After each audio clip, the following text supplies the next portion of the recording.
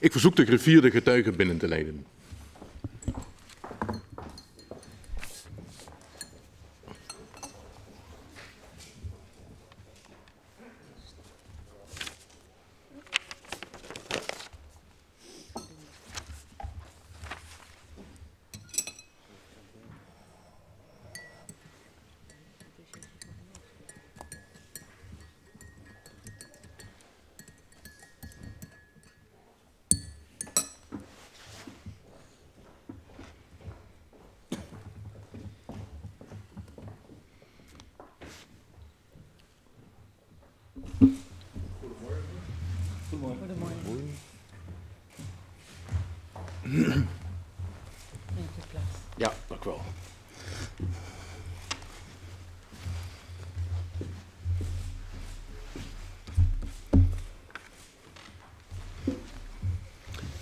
Goedemorgen, ik open deze vergadering. Aan de orde is het openbaar verhoor van de heer Hofstra. Meneer Hofstra, welkom namens onze parlementaire enquêtecommissie woningcoöperaties. Zoals u weet doen we onderzoek naar opzet en werking van het hele stelsel van de coöperaties. En we kijken dus ook naar incidenten die daarin plaatsvonden.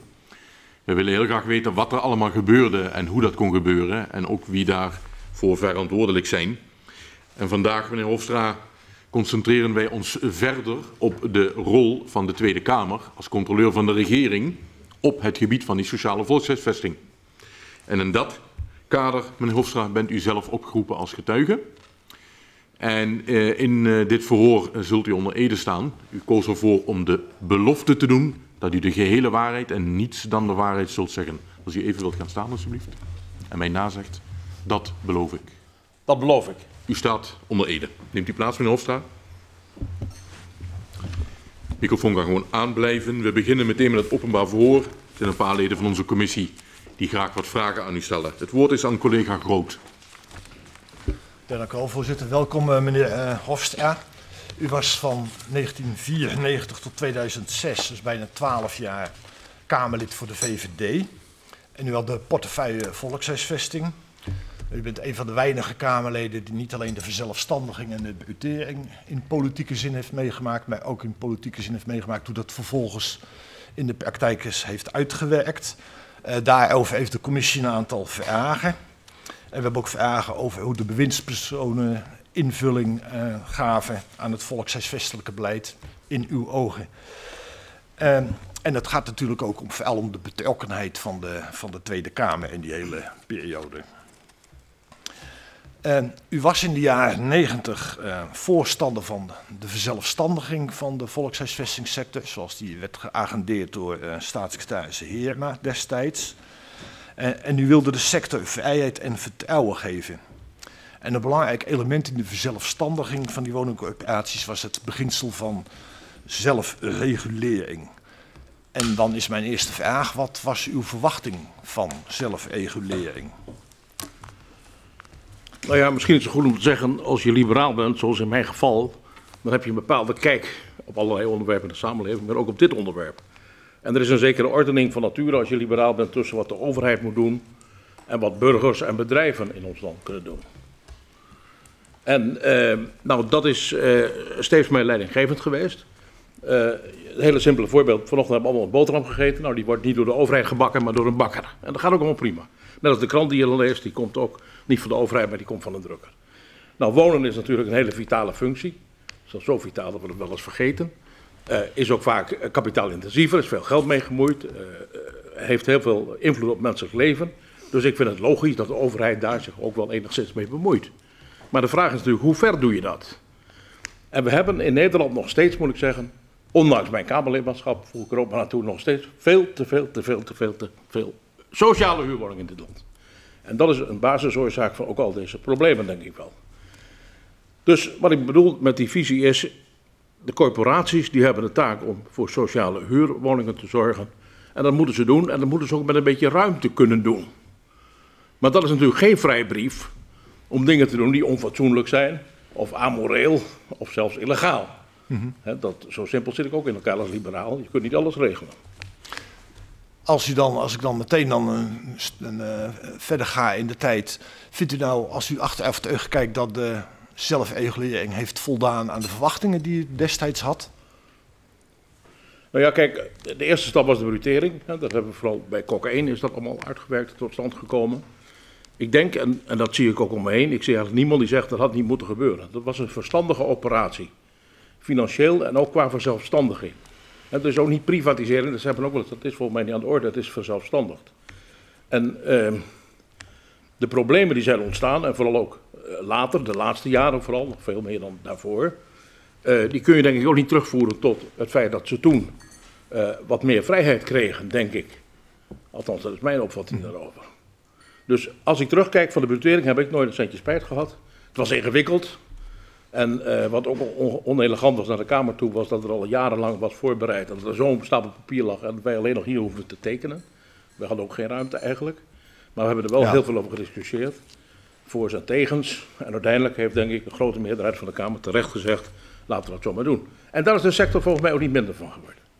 Maar ik zie geen één op één verband tussen die stap en wat er de laatste jaren aan gekkigheden, om het zo maar even te noemen, is gebeurd. Ja, u zei net al dat uh, in het normale geval brood wordt geba gebakken door een bakken. We hebben een uh, ondernemingsgewijze productie. Dat zou je kunnen, ook kunnen hebben bepleit in de volkshuisvestingssector. waarom hebt u niet gewoon destijds een volledige privatisering van de sector bepleit? Nou, dat is wel gebeurd, maar dat heette dan eigenlijk anders. We hebben steeds gezegd van, wat ik net al zei, die sector is veel te groot. Die is onnatuurlijk groot en ongezond groot voor een welvarend land als Nederland. Eigenlijk zou je wel met de helft minder moeten toekennen. Dus dan heb je in plaats van 2,5 miljoen geloof ik, heb je dan 1,5 miljoen. En die kun je echt gebruiken voor mensen die zichzelf niet kunnen redden. Maar heel veel mensen kunnen zich in de koopsector, maar ook in de huursector, denk aan de middenhuur en de hogere huur, zouden zich ook prima kunnen redden. En we hebben de wereldaannemers, en makelaars en bouwers en interieurverzorgers om dat allemaal keurig in goede banen te leiden. Dus als je zegt we gaan meer van die woningen verkopen, en dat werd ook een beleidspunt, dan doe je toch een stap in die richting. Van uh, ook meer privaat aandeel. De sociale volksvesting hoefde niet weg, maar die moest veel kleiner worden in uw optiek. Dat is. Ja, kijk, zo goed samen. Ook al zou ik misschien principieel zeggen, het is helemaal niet nodig sociale huursector. Ja, ik denk dat die wel nodig is, omdat je in de samenleving toch altijd mensen hebt die het moeilijk hebben aan de onderkant. En dat het goed is dat de overheid daar iets doet. Maar dat is niet zo'n grote groep als we nu hebben. Mhm. Was er nou bij de verzelfstandiging voldoende, duidelijk wat het taakveld was van de corporaties? Was dat duidelijk genoeg omschreven naar uw gevoel? Nou ja, dat is altijd wel een zorgpunt geweest. Kijk, eh, we hadden qua regelgeving het BBSH, dat staat voor Besluit Beheer Sociale Huursector. En dat is eigenlijk een gedrog van een regeling omdat er iedere keer is aangebouwd en, en, en verbouwd. En dat heb je met een huis ook wel eens als je het iedere keer wat aanpast aan nieuwe inzichten. Als je dan uiteindelijk klaar bent, dan zeg je, ik vind het eigenlijk niet eens mooi. Nou, BBSA is denk ik geen voorbeeld van mooie regelgeving. En uh, ja, het was misschien beter geweest met achteraf praten, dat is makkelijk. Dat we het misschien toen in het verlengde van die uh, verzelfstandiging ook gezegd hadden, we zetten het hele zaakje op zijn kop en we maken een nieuw. En dan ook liever een andere naam, die afkorting verkort zo handig van BBSA.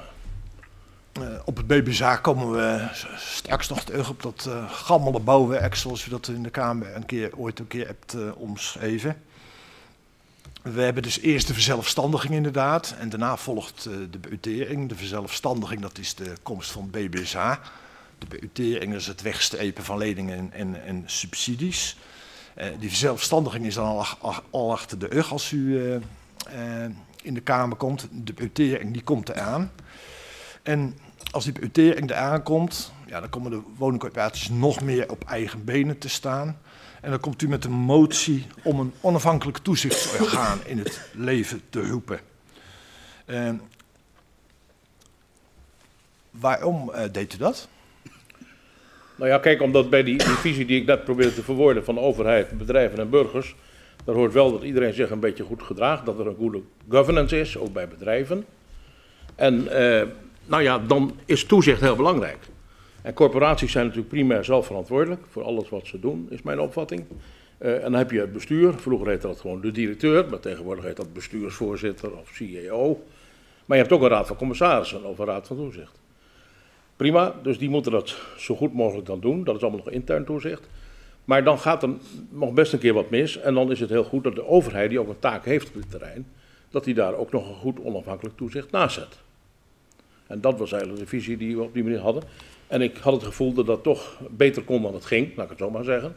Het is ook een beetje historisch gegroeid, het Centraal Fonds en het Waarborgfonds, wat uit de sector zelf voorkwam. Uh, dus ik dacht, het is niet verkeerd als we, uh, als we daar wat meer accent op zouden leggen. Ja, u dient zelfs uh, samen met de heer Duivenstein en met mevrouw Versnel-Smits van D66 een motie in, die wordt aangenomen om zo'n onafhankelijk toezichtsorgaan in het leven te roepen. Maar die motie wordt niet uitgevoerd.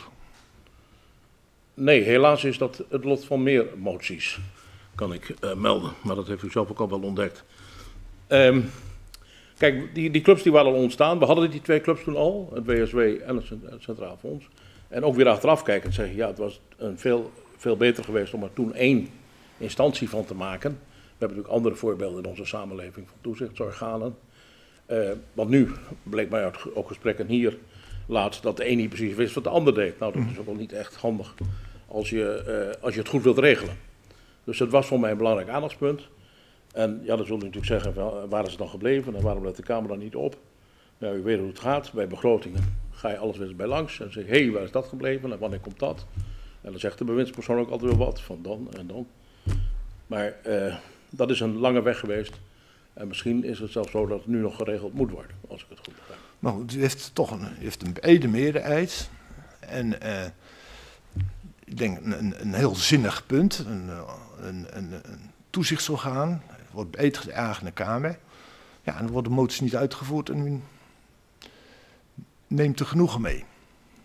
Nou, ik weet niet, want we hebben heel veel gedebatteerd over dit onderwerp, dus ik denk niet dat de Kamer daar zo makkelijk genoegen mee heeft genomen.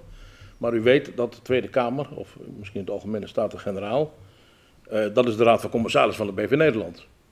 Nou, u weet ook hoe het bij bedrijven gaat. Een commissaris zegt wel zoiets, dat moet, dat moet anders. En dan duurt het toch wel een tijd voordat de directeur het doet. Dus zo is het natuurlijk ook altijd de verhouding tussen de Kamer, de volksvertegenwoordiger en de regering. En u zegt ook, ja, dan heb je weer andere commissies en dan... Uh, ja, er zijn meer dingen te doen. Want dit was ook niet mijn belangrijkste portefeuille. Maar dat neemt niet weg. Dit, we hebben er aandacht voor gevraagd, we hebben er ook aandacht voor gekregen. Er is een uitspraak van de Kamer ook gedaan op dit punt. En... Uh, en er wordt een motie ingediend, die wordt aangenomen en die wordt niet uitgevoerd. Nou, of te traag uitgevoerd zou je kunnen zeggen, of niet voldoende nou, uitgevoerd. Er is een antwoord van uh, in die tijd staatssecretaris Stommel. Ja, dat hij die motie niet wil uitvoeren. Hij ziet, uh, hij ziet principiële problemen. En uh, er is overleg geweest met de Ekenkamer. Nou, toch geen goed idee. Hij wil dat onder eigen verantwoordelijkheid houden.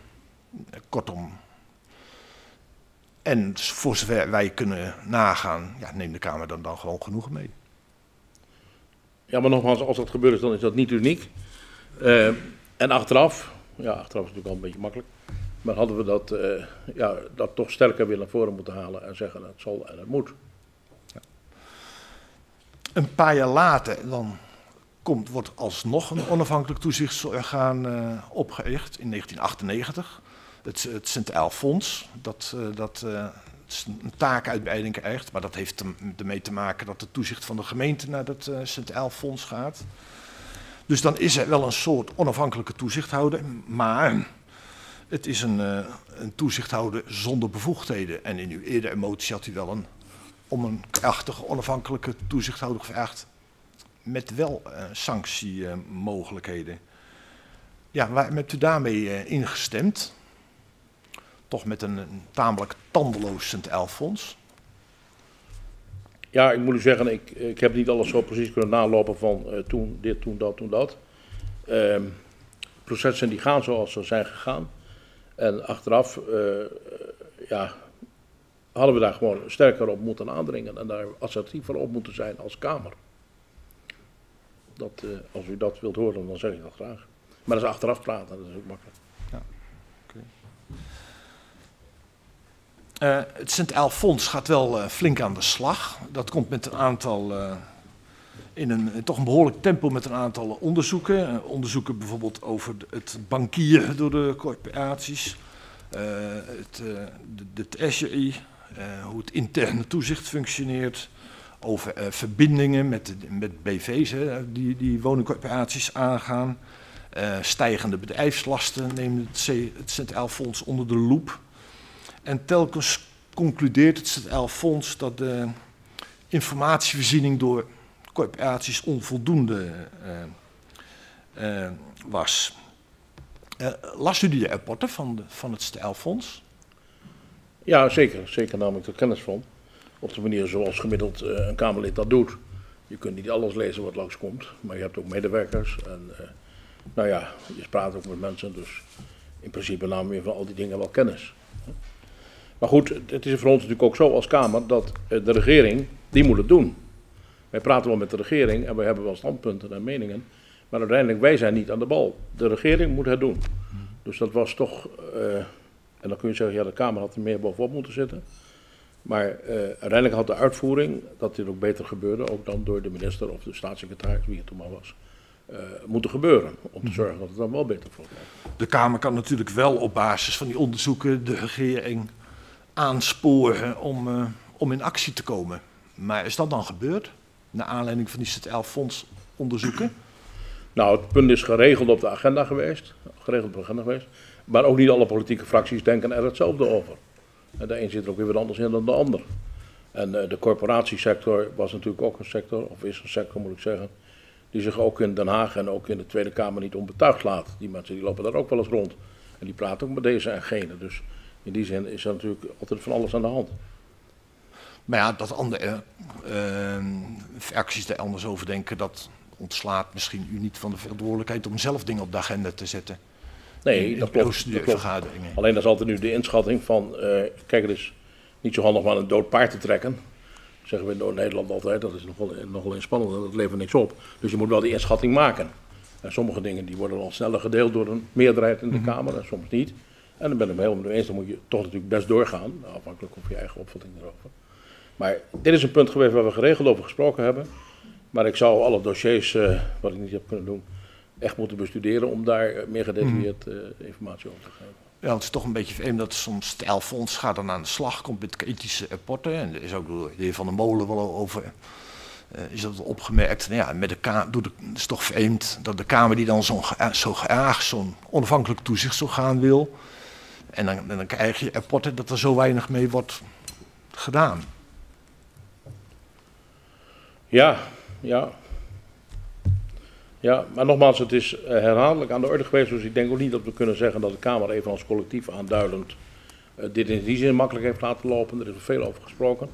Maar uh, ja, bewindslieden hebben natuurlijk ook weer meer te doen. En het is ook maar het krachtenveld, hè, de corporaties, EDES, de koepel van de corporaties, het Centraal Fonds zelf, de bewindspersoon, het ambtelijk apparaat, wat natuurlijk ook gewoon dagelijks mee aan de gang is. Ja, dat is een ingewikkeld samenspel. En achteraf nogmaals had het allemaal beter moeten lopen. Goed. Uh, ik ga naar het, het iets anders wat in midden jaren 90 gebeurde. Dus ik neem weer even een stapje terug in de tijd. Dat is de parlementaire onderzoekscommissie bij de Stichting Woningbeheer Limburg. Dan hebben we het over 1996. Ja. ja, daar is een parlementair onderzoek naar de misstanden in die, bij, die, bij die woningcorporatie. En uh, het, het eindrapport dat bevat de volgende verontrustende zin. Het aantal instellingen dat begin jaren 90 werkt met een goed functionerende professionele interne toezichthoudende structuur is naar onze waarneming zeer gering. Kortom, in veel instellingen ontbreekt op dit moment een adequaat intern toezicht. Wat vond u van, dat, uh, van die bevinding? Nou ja, ik zat in de commissie, dus uh, uh, we hebben dat inderdaad geconstateerd. Overigens, WBL was natuurlijk in verhouding tot wat later is gebleken allemaal klein bier, kun je zeggen. Maar er waren toen toch wel veel dingen. Er was toen nog veel gemeentelijk toezicht, hè, althans in formele zin. En dat is wel bij de WBL heel duidelijk gebleken, dat het ook zijn mankementen heeft. En ja, wat we daar aangetroffen hebben, dat waren ook slordigheden, uh, kleinere onjuistheden kun je zeggen. Ook inderdaad wat dingen die je ook niet behoort te doen, maar het was maar klein in verhouding tot wat later is gebeurd. Maar het was al wel aanleiding voor de commissie toen om dit soort uh, aanbevelingen te formuleren. Ja, maar is dan, ook hier is dan weer vervolgens weinig uh, mee gebeurd. En toen was het nog klein bier. Ja, intussen zijn er natuurlijk uh, veel ernstige dingen gebeurd. Ja, was dat ook dit niet toch een aanleiding om, om toch de teugels wat meer aan te trekken, of op zijn minst om daar, daarop aan te dringen? Ja, maar ook, ook over dit rapport is weer een debat met de regering gevoerd. En er zijn ook weer moties ongetwijfeld bij in het geding geweest. Dus ook dat heeft weer bijgedragen in het standpunt van de Kamer. dat er ook meer accent op dit onderwerp moest worden gelegd. Eh, ja, alleen misschien is dan de afloop allemaal al eh, ja, niet helemaal zoals men dat zou, graag zou willen. Maar het is wel toen allemaal gebeurd. Het heeft op de agenda gestaan. Het is aan de orde geweest. Het is wel aan de orde geweest, maar het heeft geen. toch weinig vertaling gekregen in beleidswijzigingen. Nou ja, in het algemeen, als ik zo terugkijk, dan denk ik dat het allemaal te traag is gegaan en misschien nog niet ver genoeg. Ik even met, naar u met het uh, debat over de, het Kamerdebat over de zogenoemde beutering. Dat is een uh, heel langdurig debat geweest. Dat ging in, uh, in, in vijf termijnen. die beutering is dus de, de, de, de mega-operatie waarbij rijksleningen werden weggesteept tegen toekomstige subsidieverplichtingen. Dat ging om echt een operatie van tientallen miljarden guldens in die tijd, in die tijd nog. Het had wel tot gevolg dat woningcorporaties uh, op, helemaal op eigen benen kwamen te, te staan. Uh, overzag u de, de, de, financiële gevolgen van die, uh, van die operatie? Ja, ik denk te mogen zeggen dat ik dat overzag. het was een groot bedrag, 30 miljard gulden even grofweg. Dat was dan naar boven gulden, naar boven afgerond. Als je dat per woning berekent, dan is het nog maar 10.000 gulden, ook dus 5000 euro die orde van grootte. Maar het waren hele grote bedragen en uh, typeerden we altijd als ik met iemand anders over sprak die niet in het dossier zat. Dan, ja, je zegt 30 miljard, maar je bedoelt zeker 30 miljoen. Kijk, 30 miljoen is voor normaal mensen ook al veel geld. Maar 30 miljard is natuurlijk onvoorstelbaar veel. Maar dat was toen met de budgettering gemoeid en ik was me regen bewust. Uh, ik was in 1994 binnengekomen in de, als Kamerlid. En dit was eigenlijk een zeer groot dossier waar ik ook veel tijd voor had. Dus ik heb het ook helemaal wel van A tot Z doorgeakkerd. En met mijn ondernemersachtergrond, dat was ik toen 25 jaar geweest toen ik uh, in de Kamer kwam, uh, meende ik wel te mogen zeggen dat ik wist wat er ging gebeuren en wat het betekende. En wat ik in het begin ook al zei, volgens mij is de sector er ook geen centje minder van geworden. Het is heel goed dat we dat toen gedaan hebben, het was ook reuze ingewikkeld zoals het was. Dus in die zin denk ik dat het alleen maar goed is. Er zat ook een uh, verplichting om de huren met een bepaald gemiddeld percentage te verhogen. Ik dacht dat het die 3,8% was, die ja. 3,8%. En ja, het duurde vijf termijnen. Dat is trouwens ook helemaal niet erg dat de Kamer een keer vijf termijnen over debatteert gebeurde. Dat was weer andere zware wetsontwerpen. En dit kwam vooral door de opstelling van collega Duivenstein van de mhm. PvdA, die niet zoveel zin in het wetsontwerp had, maar het was wel afgekaart in kok 1 dat het zou gebeuren. Dus, en er is wel heel veel tijd ook daarmee, ook in de richting van samenleving geweest. En veel uh, debatten, veel artikelen daarover. Iedereen wist wel wat er ging gebeuren. Mm -hmm. ja, het is uh, ons opgevallen uit de stukken en in dit geval een interview wat u hebt gegeven, dat u zich een, heel goed van bewust was dat de woningcorporaties in een, uh, eigenlijk in een, een riante vermogenspositie kwamen te verkeren. U, u, hebt het zelf gehad in het interview over een volkshuisvestelijk vermogen wat dan onder beheer komt van woningcorporaties van 100 à 150 miljard gulden.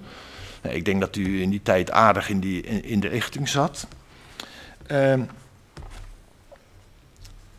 Ehm, mijn, mijn vraag is, uh, wat, wat vindt u, aan wie hoort dat vermogen toe? Is dat particulier vermogen of is dat publiek vermogen? Hoe staat u in die discussie? Ja, dat vond ik altijd een intrigerende vraag. En dat vind ik eigenlijk nog steeds een intrigerende vraag. Waar in de Kamer eigenlijk nooit zo heel veel expliciet over gedebatteerd is, als ik terugkijk. Maar uh, uh, ik ben geneigd om te zeggen dat het grotendeels publiek geld is. Het is in elk geval geen privaat geld van burgers. Het is niet van de huurders, maar ook niet van bedrijven die daarbij betrokken zijn. Corporaties zijn in het algemeen stichtingen met een zeker maatschappelijk doel. Nou, dat zit ook al wel in de publieke sfeer, dus ik ben geneigd om te zeggen dat ik het grotendeels publiek geld acht. Uh, maar we hadden ook in verband met de zelfregulering en de zelfstandigheid van van, van de sector daar ook vertrouwen in dat men dat goed doet. En laten we ook eerlijk zijn, er zijn natuurlijk heel veel corporaties waarvan de naam hier ook nooit valt, die het allemaal prima doen. Die hebben we gelukkig ook. Hè? Dus, uh, maar ik zou zeggen, het is grotendeels publiek geld. Mm -hmm. Dus dat, dat brengen we met zich mee, dat ik ook vind dat het logisch is dat de overheid niet alleen het recht, maar ook de plicht heeft om daar ook wel wat, dus niet van af te keren, maar ook wel zich mee te bemoeien. Mm -hmm. Maar op hoofdlijn, als kan. Uh, een collega van u die zich, net als u, ook uh, heel erg bewust is van de, de principiële stap die wordt genomen met de, met. Uh, dat is de heer Duivenstein van de Partij van de Arbeid. En je ziet in die debatten dat hij eigenlijk een soort op, een nieuw principieel debat over de hele ordening van de, van, van de sector wil heropenen. Uh, was dat ook uw waarneming en hoe taxeerde u wat dat betreft de positie van de heer Duivenstein? Nou ja, dat proefde ik wel bij hem heel duidelijk. En, en hij heeft ook meerdere malen ook wel, we spraken natuurlijk veel zo onderling, ook wel gezegd van ja, dit is niet goed. Dat, dit, zo op deze manier gaat het niet goed. Dat heeft hij inderdaad in die tijd nog vaak. Hij was net woordvoerder gezegd. geworden, hè? Ja. ja, precies. En wat ook wel grappig was, want hij is dan van de, de socialistische tak, om het zo maar te noemen. Dat hij wel vaak tegen mij zei, dat is marktdenken, dus je moet ook... Hij wilde eigenlijk van die 3,8 af en zeggen van, dan kunnen mensen onderhandelen over een huur. Dus misschien ook een keer min 3,8 procent. Nou ja, goed, dat waren op zich wel interessante ideeën. Maar hij stak niet onder stoelen of banken, dat blijkt ook uit het debat.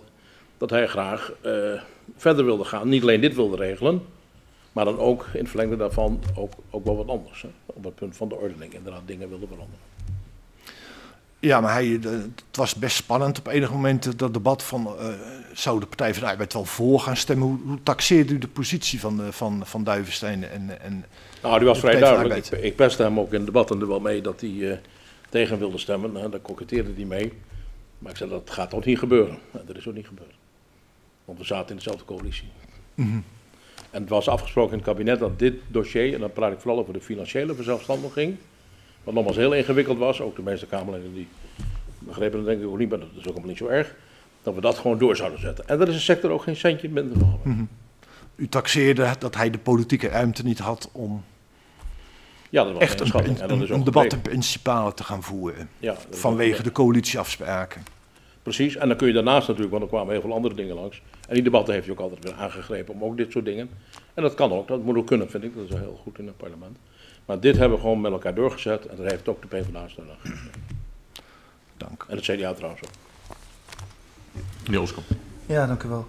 Even nog terug naar die motie. Hè. Uh, net kwam die motie uh, ter sprake van uh, dat onafhankelijk toezicht, toezichtsorgaan. Nou, die motie is niet uitgevoerd. En u reageerde vrij laconiek. U zegt ja, dat is vaker het lot van moties. Nou was het natuurlijk best een belangrijke motie. Er zat echt een visie achter, een idee. U had ook een groot deel van de Kamer mee. Dan zou je toch denken dat je de minister erop aanspreekt of de, of de staatssecretaris. Ja, natuurlijk. En dat zal ook ongetwijfeld, uh, dat is ook gebeurd. Maar uh, die zegt er ook weer dingen terug. Dus dat is ook al gebleken. En dan zegt hij, ja, maar ik heb hiermee te maken en daarmee te maken. En, en dus uh, er is nooit maar één gezichtspunt mogelijk. Er is dus in die zin wel discussie. Ja. Maar dat is altijd een strijd tussen de Kamer en bewindspersonen, of de Kamer en het kabinet. Kijk, als we het zo belangrijk hadden gevonden als Kamer dat we zeggen, ja, nou gaan we hier echt een punt van maken. Dan had je ook kunnen zeggen van nou, we sturen een staatssecretaris of een minister weg. Ja. Dat is niet gebeurd. Daarvoor was het, uh, het conflict eigenlijk niet te groot. Omdat bewindslieden ook altijd wel weer zo reageren dat je ook wel weer verder kunt op een of andere manier. Maar dat is uh, in algemene zin. Maar welke uh, argumenten werden nou door de minister naar voren gebracht om die motie niet uit te voeren? En, en waarom namen jullie daar genoegen mee? Nou, ik denk dat het gezeten heeft in de taak die het departement zelf had. En ook de taken die de clubs die al bestonden al hadden. En dat is natuurlijk vaak zo als je dit soort dingen wilt veranderen, dat iedereen heeft een mening. En ja. niemand vindt het leuk om opgeheven te worden of, uh, of, of uh, werkloos te worden of anderszins. Het lag op dat vlak volgens mij de argumentatie van de kant van uh, dat zal Tommel geweest zijn. Okay. Maar het was, was geen aanleiding om het hard te spelen? dan kunnen we historisch vaststellen dat er niet is gebeurd. Nee. Ander punt wat u net noemde was de invloed van Edis op het debat. Kunt u daar eens iets meer over vertellen? Nou ja, kijk, lobbyisten heb je in soorten. En ook in grote aantallen, zoals u allemaal weet. En Edis is gewoon een, uh, uh, niet alleen nu onder Kalon, maar ook, ook onder zijn voorganger Verleeuwen, uh, ja. geoliede lobbymachine. Ja.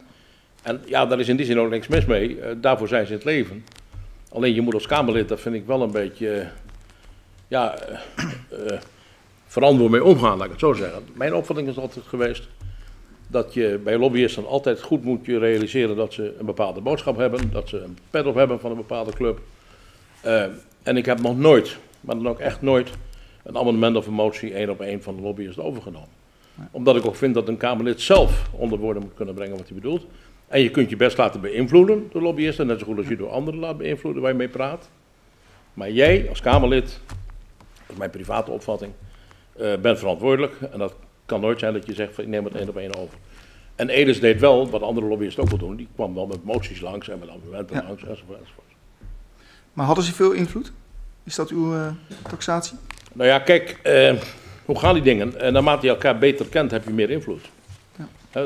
je kunt wel zeggen, ik ga een afspraak maken en dan heb ik een geweldig verhaal en dan zal... Maar de, de beste lobby is gewoon geregeld contact en de kleine dingetjes. En, nou, in die zin waren ze altijd wel, waren ze altijd wel bij. Ja. En had, u, ook actief. had u zelf regelmatig contact met Edes? Ja, dat we zeggen, nou niet eigenlijk meer als ze een keer weer langskwamen. Of, of uh, je had een bijeenkomst uh, buiten de Kamer, een werkbezoek of zo. Dan waren ze er ook al vaak bij. Of je was bij een corporatiebezoek, waren ze soms bij. Ja. Maar het is niet zo dat ik het nadrukkelijk zocht. Uh, omdat ik ook ervan uitga dat als iemand iets te melden heeft, dan hoor ik het wel. En woordvoerders van andere fracties? Ja, dat is voor mij een beetje moeilijk te beoordelen om te zeggen. Dat is natuurlijk altijd verschillend, dat weten we allemaal. Van, die, uh, dus een netwerk zit eronder. Ja. Maar ik vind het lastig om daar uh, ook in dit kader duidelijk uitspraak over te doen. Dan. Nee. Okay. We gaan naar het BBSH, want u zei dat is een gedrocht. je bouwt wat aan en je haalt wat weg. En nou, dat gebeurde in die tijd zeker, in de tijd van staatssecretaris Tommel. Want in 1997 introduceert hij het taakveld leefbaarheid. En u was een van de weinigen in die tijd die daar bedenkingen bij had. Waarom was u erop tegen? Nou ja, dat had meer met, uh, misschien moet ik zeggen, efficiëntie te maken. Dus de corporaties die moeten die, die huisvesting bieden voor mensen met lagere inkomens. En dan moet je ze niet gaan afleiden met allerlei dingen daaromheen. Nee. En het begrip leefbaarheid is natuurlijk ook een ontzettend vaag en ruim begrip. Dat hebben we dus later gezien. Ik zag gisteren ook weer een opzomming in de krant van wat hier aan de orde is geweest. Nou ja, je kunt dat heel ruim opvatten. En mijn opvatting was, doe dat nou niet als de riolering niet goed is. En ook al zijn het allemaal gebouwen van de corporatie. De gemeente in onze ordening die zorgt voor de riolering. Als de bomen niet moeten worden aangeplant of juist weggehaald, gemeente moet doen. Dus waar ik bang voor was, is dat men allemaal kosten ging maken die eigenlijk te ver van het wonen afstonden. Maar ja, leefbaarheid was wel een mooi begrip en iedereen vond het prachtig. En uh, je kon de mensen aan werk helpen, uh, je kon een mooie boot uh, Rotterdam voor de deur leggen. En, nou ja, maar ik was er daarom tegen, maar ik kreeg helaas niet genoeg steun om nee. het ook echt weg te, uit het veld te, eh, te zien gaan. Want twee jaar daarvoor had u een keer een interview eh, afgegeven bij, de, bij het corporatiemagazine. En toen had u het VVD-standpunt uiteengezet en dat was heel duidelijk sociale woningbouw en verder niet. Ja, en beperk je tot je kerntaak. Ja. En laat je niet afleiden door allerlei andere grappen en grollen, die alleen maar geld kunnen kosten. Dat was mijn gedachte. En dan gaat dat ten koste van uh, uiteindelijk toch de gelegenheid die je biedt, ten koste van de huurders. Ja. Nou, u was er tegen, maar uh, wie waren nou de grootste voorstanders van dat uh, uitbreiden met de leefbaarheid? Nou, ik geloof dat eigenlijk alle andere fracties er wel voor waren. Er waren niet zoveel tegenstanders. Ik geloof dat ik de enige was. En nou ja, dan is het koppen tellen en over tot orde van de dag. Nou, zelf uh, denkt u er ook over mee. En in 2001 pleit u voor uitbreiding van de takenvelden van de corporaties met de prestatievelden verkoop van huurwoningen. Het komt een beetje in de, wat u net zei, veel te veel sociale huurwoningen. en wonen en zorg. En Kunt u ons eens meenemen in uw, eh, in uw visie, waarom u eh, daarmee kwam? Nou, kijk, dat verkopen van woningen is natuurlijk heel duidelijk. Ideologisch zeggen liberalen van die sector is veel en veel te groot. Dus wat moeten we doen? Verkopen. Dat heeft een ander bijkomend voordeel. Door woningen te verkopen maak je geld vrij. En dan kun je dat mooi gebruiken voor je kerntaak. Dus dat was eigenlijk een mes dat aan twee kanten sneed. En wat zorg en wonen betreft, ja, dan hadden we een andere rare constellatie. dat ze vaak zit in de zorg, wat natuurlijk heel veel kosten met zich bij, veel meer alleen maar het wonen, zat ook de component wonen in. En dat werd, daardoor werd het ook heel erg onduidelijk. En als je nou bij de corporatie dus zegt, oké, het wonen, in het kader van wonen en zorg, dat doen we bij de corporatie, prima. Maar voorkom dan dat je die zorg ook meeneemt. Dus dat was weer eigenlijk een afbakeningsprobleem en een efficiëntieprobleem.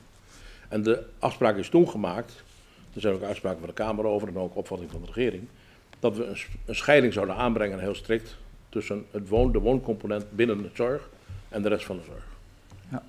Ik knip het heel even, want uh, verkoop van huurwoningen is natuurlijk een ander punt.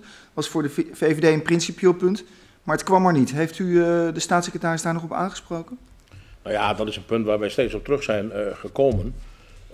omdat het een prachtige mogelijkheid is om niet alleen de sector gewoon meer geld te geven voor de kerntaak, maar vooral ook om dat ideologische doel van ons dichterbij te brengen dat mensen meer een eigen woning kunnen hebben. En het was heel grappig in die tijd, ik kom met collega Duivenstein eh, daar zelfs nog op een gegeven moment een aparte wettelijke regeling kunnen maken voor mensen die een huurhuis hebben, een laag inkomen.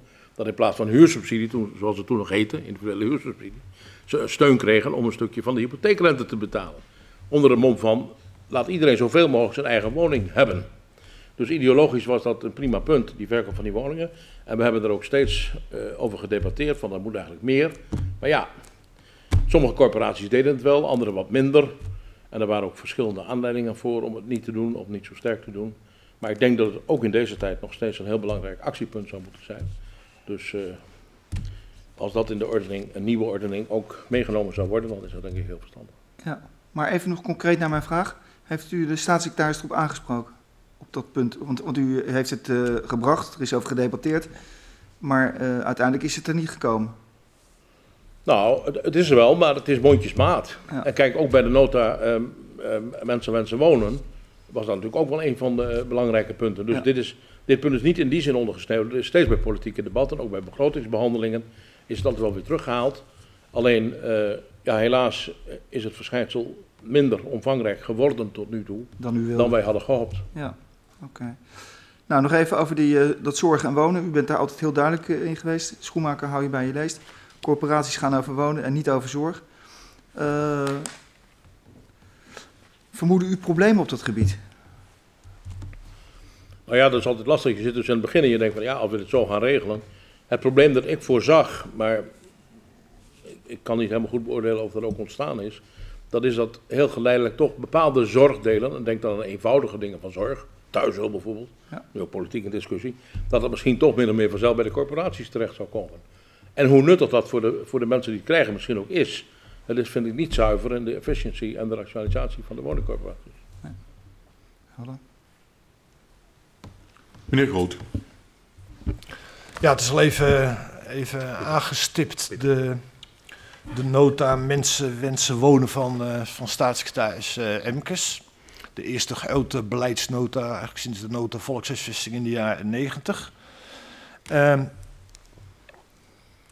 ja, u vond, uh, daarin doet de, de heer Emkes een aantal voorstellen over een, een beleidskader, het afstoten van sociale huurwoningen, prestatieafspraken met gemeenten.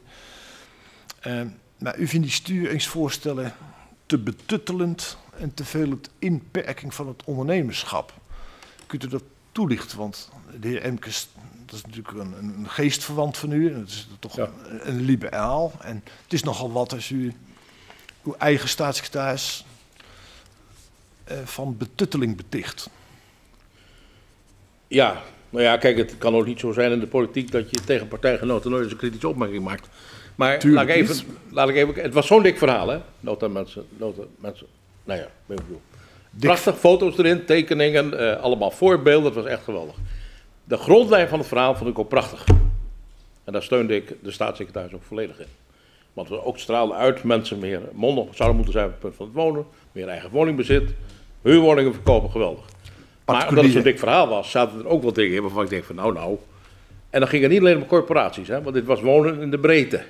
Dus het ging ook over projectontwikkelaars, aannemers, uh, privépersonen die een huis hebben, een huis verkopen. Dus en daar kwam ik af en toe dingen tegen waarvan ik dan zei betuttelend. Maar ik zou het jammer vinden als uh, nou de inbreng van de VVD-fractie bij deze belangrijke nota is van, ze vonden het betuttelend. Nee, wij vonden het in principe volgens mij een prima plan. Met de goede doelen en de goede lijnen. Alleen er zaten wel een paar elementen in waarvan ik, en ik nam vaak geen blad voor de mond zoals u wellicht weet, wat ik zei van nou dat vind ik niet nodig, vind ik betuttelend. En dat kan ook wel zonder. Zo moet dus die, die kwalificatie betuttelend, dat u zegt, het doet geen echt aan wat ik er echt van vond. Nee, dat nee laat ik zeggen, als u het naleest en, en ja, ik heb dat allemaal niet zo precies nagelezen, maar dan zou ik het jammer vinden als dat nou de conclusie van de VVD-fractie over dit toch wel belangrijke stuk was. Mm -hmm. Ik denk dat onze grondtoon was dat het prima was, dat er een, een goede visie in zat, maar dat bepaalde uitwerkingen, uh, die moesten ook daarna natuurlijk nog plaats hebben. Dat we daarop zouden moeten letten, dat we ons wel inderdaad bij de les hielden. Dat was een beetje mijn uh, waarschuwing op dat punt. Die, die plannen in, in die nota, uh, mensen wensen wonen, die zouden uitgewerkt worden in een nieuwe woonwet. Dat is ook gebeurd. Die, er is een ontwerp voor naar de Raad van State gestuurd. Maar de opvolger van de, heer Emkes, dat is mevrouw, uh, mevrouw Dekker met een tussenpose van, uh, van de heer Kamp. Die besluit het wetsvoorstel niet bij de Tweede Kamer uh, in te dienen. Hoe vond u dat en hoe verklaart u dat? Ja, kijk, die woonwet dat is natuurlijk wat mysterieus. We hebben dat ding nooit gezien. Officieel is hij nooit naar buiten gekomen. Hij is de Raad van State heeft hij gehaald en er is ook een advies geloof ik over uitgebracht. Maar ik weet niet hoe het u vergaat als Kamerlid, maar ik had op een gegeven moment een hekel aan geheime dingen of geheime overleggen. Later ook opviel dat in deze sector wel niet zoveel last van gehad hebben, in andere sectoren nog wel. Dus ik wist het niet en ik wilde het ook niet weten. Want het heeft nooit iets betekend. Het is nooit verder gekomen dan op het departement bij een bewindspersoon. Dus uh, ik was ook niet in het bezit van de integrale tekst van, de, van, van die wet. Ja, maar die wet was natuurlijk toch gewoon een, een, een codificering, een uitwerking van die nota mensen wensen wonen. Ja, zo, kun je, dus, zo, kun je, dus, zo kun je dat zien.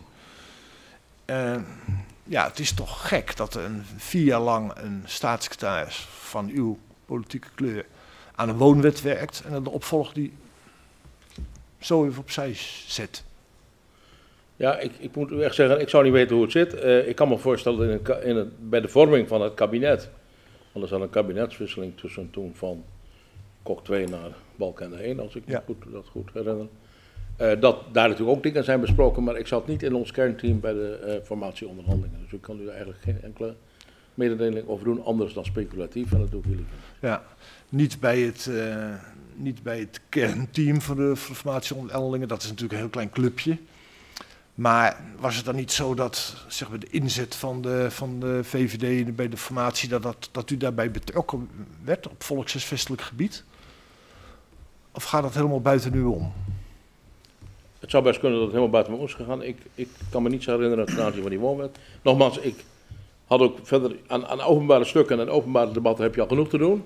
Dus ik had ook geen uh-huh. behoefte om dingen die ik niet weet of niet mag weten of niet, of waar ik niet over mag praten. Dat is ook dodelijk voor een parlementariër om niet te weten. Dus ik heb me daar ook verder nooit in verdiept.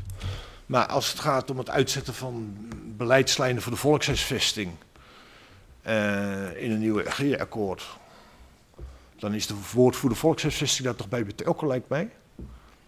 Ja, is er niks uh, gevraagd? Uh, nee, kijk, natuurlijk is het zo dat in dat stadium hangt ook een beetje van de pikorde af, dat, dat weet u hoe dat gaat in een politieke fractie, uh, dat je daar natuurlijk wel bij betrokken raakt.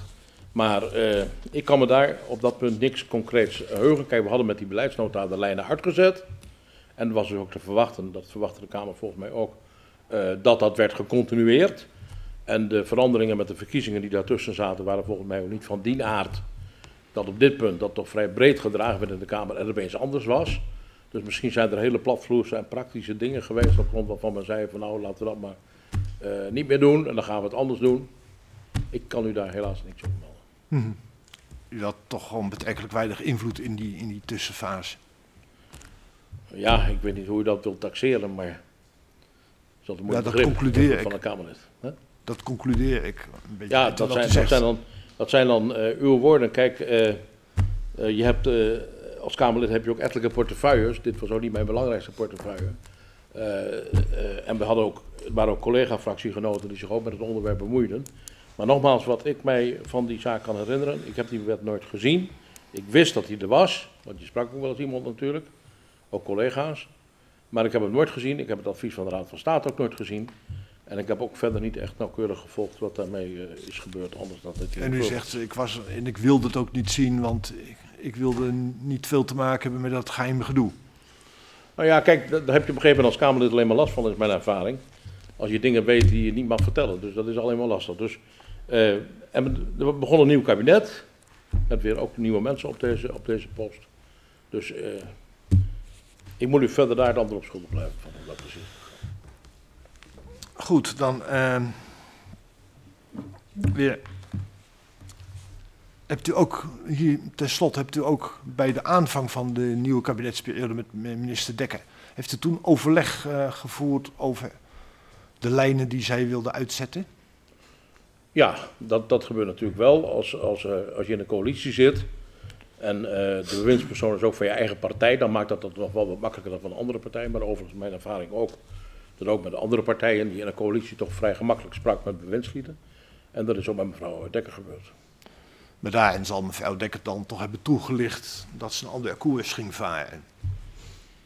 Ja, maar ik heb dan nooit opgevat dat, dat we af zouden wijken van de lijnen die uh, Johan Remkes had uitgezet. Dus volgens mij ging het gewoon in die lijn door.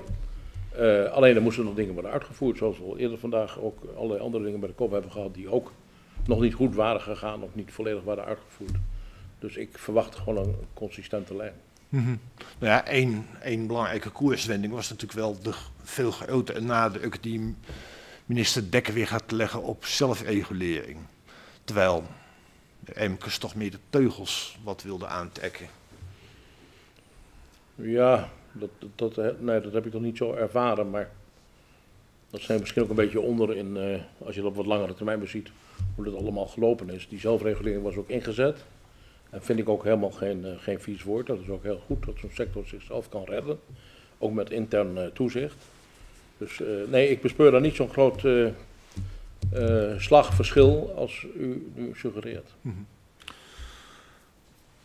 Nog even terug naar uh, wat de heer Oskam ook al heeft, uh, heeft aangekaart, dat, dat BBSH, het besluitbeheer sociale huurwoningen. U zei dat, dat inderdaad dat, dat voor de, alle verbouwingen nogal gammel bouwwerk was geworden. Kunt u nog, iets, nog een keer precies zeggen wat, wat, u daarmee nou bedoelt? Nou, juridisch heb ik mij laten vertellen, maar ik ben zelf technicus van huis en geen jurist. Maar dat de koppeling aan de woningwet, want dat was de juridische verankering van dit besluit, dat dat ook juridisch niet helemaal de toets der kritiek zou kunnen doorstaan. Anders gezegd, als er rechtszaken zouden komen op grond van dit besluit, dan was het de vraag of het allemaal goed ging. Of die er zijn geweest, dat weet Omdat ik alles in AMVB's hangt en niet echt in, wet, in wetten. Ja, nou dit is een besluit dat hing onder een wet. Maar goed, juridisch was dat begreep ik wel op aan te merken. Maar als je inhoudelijk keek, ook naar de teksten en naar de omvang van het verhaal en, en inderdaad al die verbouwingsstappen, aanpassingsstappen, dan was dit denk ik een aardig voorbeeld van een regelgeving die je gewoon eens een keer het weekend over uh, zou moeten vernieuwen. Zeggen we nou, dit was de oude en dit is de nieuwe. Mm -hmm. En wat heeft u eraan gedaan om dat gammele bouwwerk dan ervoor te zorgen dat dat... Uh... Ik denk dat ik, maar dat heb ik niet allemaal zo letterlijk nagelezen, maar ik denk dat ik, ik uh, vaak ook op dit, deze zaak heb gewezen en heb gezegd, we moeten eigenlijk integraal tot een herziening komen van het BBSA in welke vorm dan ook. En of het dan in die vorm gaat of in een andere vorm, allemaal prima. Maar dat we gewoon de regelgeving moesten updaten, uh, moesten actualiseren. En dan zouden ook die vitale dingen als bijvoorbeeld toezicht uh, daarin beter geregeld moeten worden. Maar heeft er niet een, bijvoorbeeld een tijdsklem opgezet van een motie van, uh, nou, en laten we dat nu eens per die datum gewoon gaan regelen? Nou, ongetwijfeld, u weet hoe dat gaat. moties hebben ook wel vaak tijdslimieten. Maar ja, één ding wat je zeker, de tijd tikt door. Dus uh, ik kan het allemaal zo niet, niet uh, assureren aan de hand van concrete moties en dergelijke. Maar het punt zal ongetwijfeld uh, gemaakt zijn. ook wel bij begrotingsbehandelingen van wanneer krijgen we dit en wanneer krijgen we mm -hmm. ik wil even met u naar een andere motie. Die dateert van februari 2004. Dan dient de heer Koopmans een, een motie in om zo spoedig mogelijk met voorstellen te komen om de overheidsregelgeving met betrekking tot woningcorporaties te verminderen. Uh, u was mede-indiener van die motie. Het gaat dan om, om administratieve lasten. Wat was uw reden om die motie in te dienen? Nou, waarschijnlijk was dat een poging om uh, naast al die andere pogingen, uh, en dit kwam dan via de administratieve lastenlijn, om, om dat nou eens werk van te maken. Om, want kijk, verminderen wil niet zeggen dat je je invloed ook vermindert. Maar er was heel veel regelgeving, bij WSA was daar een voorbeeld van, maar er waren er meer. En dat was, dit was de gedachte van nou, doe er nou eens wat, schrijf er nou eens wat nieuw op. Uh, doe er eens wat compacter. Laat ook meer ruimte aan andere partijen om hun zelfstandigheid in te vullen. Uh, maar wel effectief. Dus het is allemaal hetzelfde eigenlijk uh, wat ik daar steeds mee bedoel.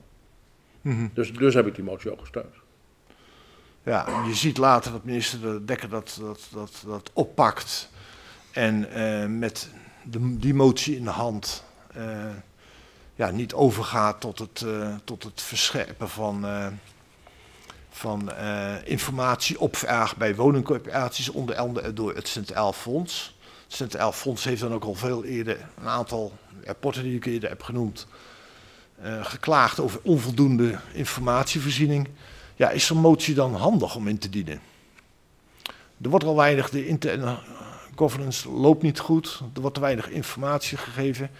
En juist dan komt u met de motie om, met als gevolg dat er nog minder informatie komt. Nou, dat zou dus niet hoeven, nogmaals, omdat eh, als het gaat om vermindering van regeldruk, van regelgeving, hoeft dat niet te betekenen dat de regels die je handhaaft, dat die minder effectief zouden zijn. In het algemeen ben ik ervoor om te zeggen, doe minder regels, maar wel effectieve regels.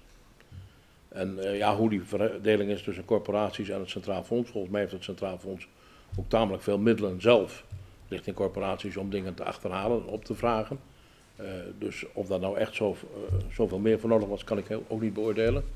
Maar ja, ik denk dat het logisch was om ook deze motie richting de regering toch aan te nemen om op dit punt gewoon ja, mm. tot versnelling van dit onderwerp te komen. Waar baseert u het idee dat de woningcorporaties last hadden van te veel administratieve lasten? Want er was een hele bureaucratische last van ze afgevallen. We hebben eerder gehoord ook dat het hele departement dat toezicht hield, dat is met, met meer dan duizend man ingekrompen. Uh, mannen en vrouwen. Ja, uh, ja. Dus het was juist een heleboel regelgeving weggevallen. Nou, wat was uw waarneming dat, dat er nog wel... Maar het ging er niet zozeer om om de corporaties van dingen te ontlasten. Maar als je als overheid dat allemaal wil doen, dan ben je ook aan de kant van de overheid menskracht kwijt. Dus daar is het ook simpeler, en qua kosten en qua organisatie, om het te versimpelen. Maar nogmaals, mijn belangrijkste punt zou zijn geweest van uh, effectievere regelgeving. Want er waren ook heel veel ingewikkelde regels die eigenlijk niet echt nuttig of nodig waren als je er goed naar keek. -hmm. Oké. Uh, de woonwet, waar staatssecretaris Emkes heel lang mee bezig uh, is, die komt uiteindelijk niet. En uiteindelijk duurt het nog acht jaar, tot uiteindelijk in 2011, voordat er uiteindelijk wet en regelgeving naar de Kamer wordt gestuurd. Hebt u een verklaring waarom dit, deze dingen nou zo lang duren? Ja, kijk, als je een deel van je leven gewoon ondernemer bent geweest, zoals in mijn geval, dan verbaas je je er heel erg lang over dat de overheid wel heel erg groot is en omvangrijk. En ook vaak hele bureaucratische processen heeft en er ook heel lang over doet. Dus ja. En tijdens de politiek is dat idee ook niet anders geworden. Ik bedoel, vanuit van binnenuit zie je dan ook dat dingen gewoon ingewikkeld geregeld zijn.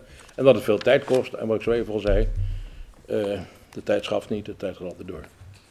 Dus als je niet op tijd bent, ja, dan ben je weer te laat. Meneer Oskam. Ja, nog even twee punten die uh, in het gesprek aan de orde kwamen. Dat uh, betuttelende, daar zei u van ja, het zou ik wel jammer vinden als het VVD zo uh, wordt weggezet. Want wij waren het eigenlijk wel in grote lijnen eens met die plannen van, van Remkes. maar op onderdelen moesten nog wel flink gesleuteld worden. Welke onderdelen waren dat nou, specifieker? Nou, dat ging dan vaak om dingen als inderdaad regelgeving. want het was op zich een liberaal verhaal die visie die in die nota is verwoord. Ja. Uh, van geef ook ieder zijn eigen rol. Dat kunnen burgers zijn, dat kunnen bedrijven zijn, dat kunnen corporaties zijn, de overheid. Uh, en, en de voorbeelden die zitten altijd op het terrein van. Ja, omdat er ook voorbeelden waren uitgewerkt in het hele dikke verhaal, gewoon ja. in de vorm van bijlagen. Uh, en dan zeg je, nou ja, zo lijkt me dat toch niet allemaal nuttig en nodig. Maar dat heeft allemaal te maken met zeg maar, de bureaucratie en de regelgeving. Maar, maar, maar maakt u het wat concreter? Waar moeten we dan aan denken? Waar zat bij u de pijn? Nou ja, wat, wat kwam er aan de orde? Ik bedoel, de manier waarop allerlei dingen worden, bijvoorbeeld bij een bouwplan worden voorgeschreven. Of allerlei verplichte overlegssituaties. En dan zeg je op een gegeven moment, dat zou ook wel wat minder kunnen. Ja, er zat te veel regelgeving, veel administratieve druk, zeg maar, op. Ja, dus ik zou zo zeggen, de hoofdlijn, de visie, prima.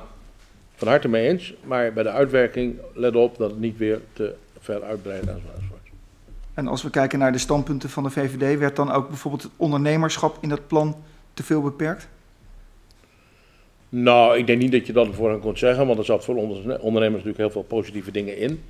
Uh, in die hele visie, als je zegt, uh, mensen moeten vooral ook een eigen woning kunnen hebben als ze dat willen en kunnen. En de huur moet ook heel sterk kunnen, los van corporaties in de vorm van particuliere huur. Dan zit er op zich voor bedrijfsleven ook heel veel mogelijkheden in. En dat, dat bracht de nota ook met zich mee. Dus ik, ik had echt niet de behoefte om vanuit het bedrijfsleven bezien te zeggen, dit is te beperkt of te eng opgezet van de overheid. Okay. U zei tot twee keer toe op vraag van de heer Groot, uh, wonen is niet mijn, uh, was niet mijn belangrijkste portefeuille. Wat was uw hoofdportefeuille? Uh, mobiliteit. Mobiliteit. Autobelasting en dat soort zaken. Ja, ja. En gold het ook voor de andere woordvoerders wonen, dat zij zware portefeuilles daarnaast hadden? dat is heel verschillend of je in een kleine of in een grote fractie zit. Ja. Bij de grote fracties is het dan vaak zo dat, zeker de historisch volkshuisvesting natuurlijk wel een belangrijk onderwerp is. Dus heel veel in een grote fractie is het vaak een van je belangrijkste dingen als je dat, daar woordvoerder bent. Ja. bij ons heet het niet zozeer volkshuisvesting, maar was het meer, we noemen het wel wonen. Maar bij een kleinere fractie, dan, ja, dan ligt het natuurlijk heel anders. Dan moet je wel heel veel dingen ernaast doen, anders krijg je het niet rond met elkaar. Nee. Dus dat is heel verschillend. En, maar kreeg, kreeg zeg maar, het onderwerp wonen dan wel voldoende aandacht van de Kamer? Uh, ja, ik vind van wel. Ik vind van wel. En ik vind ook dat uh, uh, als je al die, al die dingen kijkt die gebeurd zijn en, en die natuurlijk allemaal laakbaar zijn vanaf verschillende oogpunten, dan heb ik niet het gevoel om te zeggen als jarenlang volksvertegenwoordiger, want dat was het inderdaad lang, ook op dit dossier, dat ik mezelf daar heel erg negatief bij betrokken zou voelen. Nee. Ik denk dat de Kamer geregeld heeft gesproken over deze onderwerpen, heel veel dingen ook aan de orde heeft gehad, met amendementen, met moties. En dingen die bij corporaties misgegaan zijn, en dat zijn er vele, zou ik willen zeggen, primair ligt het aan de corporatie, directie en raad van commissarissen.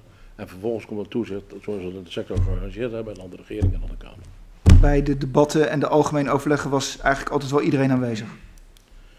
Ja, ik denk dat volkshuisvesting in de jaren dat ik daar tenminste zat, ik weet niet precies hoe het nu is, maar dat was altijd een commissie waar uh, veel aan de orde kwam, waar ook vaak debatten werden georganiseerd en waar ook de opkomst uh, hoog was. Okay. Meneer Groot, u vervolgt. Ja, voorzitter, ik heb nog een, een paar uh, afrondende vragen. Uh, eerst toch nog even naar het budgetteringsdebat, want dat is zeg maar toch het, laatste hele grote debat geweest wat, wat, zo, wat zo uitgebreid werd gevoerd. U hebt al gezegd dat uw collega Duivenstein had heel weinig politieke ruimte. Hoe lag dat voor andere fracties, inclusief de uwe, bij die budgetteringswet? Wat viel er nog te... te nou, bij ons in de fractie was het eigenlijk geen, uh, geen groot probleem. Uh, het zat ook in het regeerakkoord hè, dat, dit, uh, dat dit zou gebeuren.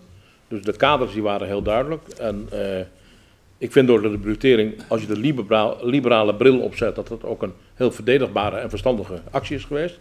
En ik herhaal nogmaals dat volgens mij die eigenlijk door iedereen toch wel als, als goed is ervaren. Daar heb ik ook nooit laten dingen van teruggehoord, verkeerd gegaan, verkeerd gegaan. Dus dat was niet zozeer een probleem. En bij ons in de fractie is het natuurlijk wel aan de orde geweest, want het ging om veel geld uiteindelijk. Maar uh, wij hadden daar niet veel verschil van mening over. En uh, konden vrij naadloos aansluiten bij de opvatting van de regering op dit punt. Mm -hmm. Maar hebben wel aan de vijf termijnen meegedaan. Ja, het, is, uh, het was toch een beetje tekenen bij het kruisje, maar we tekenen ook erg bij dat kruisje. Kan ik het zo samenvatten? Nou ja, ik had misschien ook wel liever op bepaalde onderdelen nog iets gewijzigd. Maar als je weet dat als je het niet doet, de staatssecretaris, was Tommel in dit geval, en dan met die hele handen onder zijn arm terug moest naar het veld, waar Heerma al mee begonnen was en waar al geloof ik twee jaar lang over gepraat was, met allemaal clubs en uh, berekeningen zus en berekeningen zo, ja, dan is het ook niet echt realistisch om dat te doen. En dan doe je dat alleen maar, denk ik, als je per saldo zegt, uh, alles afwegend, dit vinden wij niet goed. Maar dat was beslist niet het geval. Het was op zich een goed plan. Uh, u bent twaalf jaar Kamerlid uh, geweest. Ik zei het in het begin al, u heeft een, spant een hele lange periode. En u volgt de actualiteit, neem ik aan, nog steeds. mag ik aannemen voor een, voor een politicus.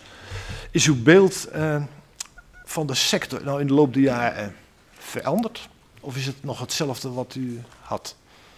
Ik was misschien goed om nog te melden nog vier jaar lid van de Eerste Kamer. Toen zag ik ook nog wel wat dossiers langskomen. Um, nou ja, kijk, ik vind nog steeds dat uh, corporaties zouden, uh, even in zijn algemeen gesproken, zich wat meer op moeten stellen voor de moderne governance. Er zijn nog te veel raden van commissarissen volgens mij die zo gesloten zijn als een oester. Uh, waar het ene eruit gaat en de andere weer binnenkomt.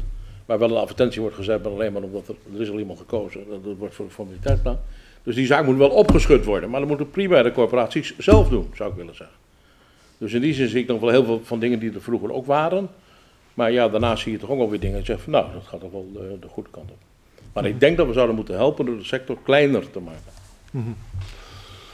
Als u zegt 12 jaar na de of nee, 20 jaar na de verzelfstandiging, hè, want we hebben het intussen over 20 jaar, uh, gaat het nog steeds niet goed bij het interne toezicht?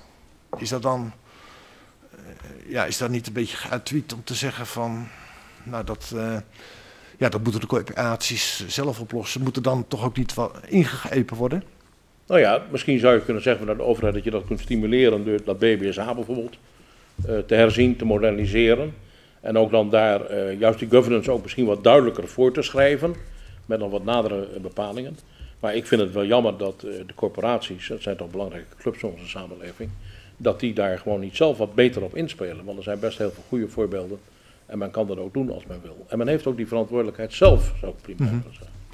Er zijn natuurlijk uh, heel veel corporaties waar wel, een, uh, waar wel slagen zijn gemaakt. Dat is ook in verschillende veel uh, is dat hier benadrukt. Maar ja, het gaat natuurlijk om, om, om daar waar het fout gaat. En wat we ook hebben gezien van als het fout gaat, dan kan het ook hele grote gevolgen hebben. Ja, zou dat naar uw opvatting dan niet toch moeten leiden tot, tot sterker aantrekken van de teugels? Nou, ik, op dat punt van de governance zou me dat kunnen voorstellen dat je daar als overheid zegt van nou, we willen nu, gelet op wat er ook allemaal recent gebeurd is. Want bijvoorbeeld die derivaten, daar hebben we het helemaal niet over gehad, daar heb ik ook verder geen verstand van. Uh, maar daar is natuurlijk ook nog een andere partij waarvan je kunt zeggen van was dat wel uh, verstandig. De banken hebben het allemaal uh, aangeboden. Ik weet van midden een klein bedrijf waar die ding ook over de tafel ging. En de lokale bank die natuurlijk niet eens wist hoe het werkte. En de man in de krijtstreepbank uit Utrecht dat ook niet precies wist. En dat werd gewoon verkocht als commercie. Dat vind ik ook laakbaar. Dat is de verantwoordelijkheid van de banken, dat is weer een andere categorie. Dus ik, ik wil best toegeven, of, of, de mening delen, dat uh, het misschien goed zou zijn om als je nu wel terugkijkt, die 20 jaren, om te zeggen op de die governance zou het nog wel een, wat duidelijker kunnen. Maar ik vind toch ook dat er een belangrijke verantwoordelijkheid bij die corporatie zelf ligt om het ook te doen. En er zijn nu voorbeelden genoeg. Men kan toch in redelijkheid niet zeggen, ja, wij weten niet hoe dat moet. Deze commissie heeft uh, de opdracht om, om uh, om het stelsel te onderzoeken en dan ook de verantwoordelijkheden na te gaan, de oorzaken. Ja, voelt u zich nou zelf ook mede verantwoordelijk voor, de, voor dingen die mis zijn gegaan sinds de verzelfstandiging? Um, ja, uh, tuurlijk ben ik mee verantwoordelijk voor besluitvorming uh, die er geweest is. In het Nederlandse parlement doet het punt. Ik hoef niet uit te leggen dat je altijd minstens 75 mensen mee moet hebben om het voor elkaar te krijgen heel veel debat over van alle kanten belicht. In redelijkheid zou ik willen zeggen, als wij terugkijken, dingen hadden beter gekund, dingen hadden sneller gekund, misschien ook wel sneller gemoeten. Maar ik voel mij niet echt aangesproken als ik kijk naar de hele gekke dingen die gebeurd zijn, de hele ernstige dingen die gebeurd zijn. Daar voel ik geen betrokkenheid bij in de zin van, ik heb dat, die fout veroorzaakt of ik heb die fout uitgelokt. Mm Nee, daar heb ik geen last van. Ja, het is opvallend dat als we gewoon de stukken nagaan, ja, dat u op, een heel aantal momenten toch wel de vinger op de zere plekken uh, legt in een vroeg stadium. De, het, de toezichtskwesties, afbakeningsproblemen bij de leefbaarheid, ja, dat soort zaken. Maar ja, dat constateren en van de andere kant doorpakken, druk zetten, dat laatste lijkt toch ja, echt wel minder het geval te zijn. Ja, ja maar ik denk toch... Reageert u daar eens op? Nou ja, daar, daarvan zou ik willen zeggen, kijk, dat is ook volgens mij een algemeen probleem van uh, de politiek en een algemeen uh, probleem van de verhouding tussen de Kamer en de regering. Want dit is niet het enige beleidsveld waarbij je kunt zeggen die motie is niet uitgevoerd of die is niet uitgevoerd. En dat duurt te lang, dat gebeurt op allerlei andere beleidsterreinen ook. Dus ja, het is maar net hoe die samenwerking in zo'n parlement is. En er kan een moment komen dat men zegt, ja, dit gaat ons te ver. En er zijn ook voorbeelden van. En dan wordt er gezegd van, nou, we gaan met een andere minister verder of een andere staatssecretaris. Maar daar is hier in dit traject volgens mij geen sprake van geweest. De Kamer heeft het vaak aan de orde gehad. Ook vaak moeten horen van de regering dat het niet kon, of dat het nog niet kon, of dat het nog langer zou duren. Maar als ik kijk naar de echte grote misstanden, uh, bijvoorbeeld het schip in Rotterdam, waarvan ik zeg, omdat ik hou van cultuurhistorische monumenten, en ook in het vervoer met name, vrachtwagens, bussen, vliegtuigen. Het is een prachtig schip, maar het is natuurlijk bezopen dat een corporatie daar zoveel geld in gestoken heeft. He, dus ja, ik denk niet dat je tegen de Kamer zou kunnen zeggen, dat je Kamer zou kunnen verwijten dat die dit heeft veroorzaakt. Mm -hmm. Nee, dat denk ik niet. Klinkt toch een beetje laconiek. Of... Nou, je moet het leven wel iets zwaarder nemen dan het is. Maar, eh, nee, want we kunnen ons allemaal wel, wel een schuld aanpraten, maar ik denk dat het gewoon zo is. Uh, tuurlijk hadden dingen beter gekund, misschien ook beter gemoeten. Uh, kan alsnog, zou ik zeggen. Hè? We hebben nog tijd, uh, tijd te gaan. Maar de, de ernstige dingen die de laatste tijd naar boven zijn gekomen, Nee, daar zou ik niet van willen zeggen dat het mijn schuld is of de schuld van de Kamer. Dank u wel, voorzitter. Dank eh, meneer Groot. Uh, meneer Hofstra, mevrouw Hashi heeft ook nog een vraag voor u. Meneer Hofstra, u was twaalf jaar lid van de Raad van Commissarissen van BV Nederland, zoals u dat zelf ja. noemde, de Tweede Kamer. U zegt, dit was niet het belangrijkste onderwerp. U zegt, u weet hoe dat gaat met een motie. Je kan niet alles lezen, je zit in een bepaald krachtenveld. Het hangt af van de pikorde. De meeste Kamerleden begrepen er niet veel van, maar dat is niet erg. En het is slechts een greep van uw citaten vandaag. Eigenlijk heeft u twaalf jaar lang een machteloos, misschien wel droevig ambt uitgeoefend. Of niet? Nou, voorzitter, volgens mij is het ambt wat u bekleedt en wat ik bekleed heb, is een van de mooiste ambten in dit land. Maar dingen die ik heb genoemd, u maakt, nou, een mooie opzomming van. Ja, dat herkent u toch? Dat gebeurt toch allemaal? Het is toch geen ideale situatie, alle moties die u als parlement aanneemt, dat de regering volgende week zegt, we hebben het uitgevoerd. Het leven is weer barstiger.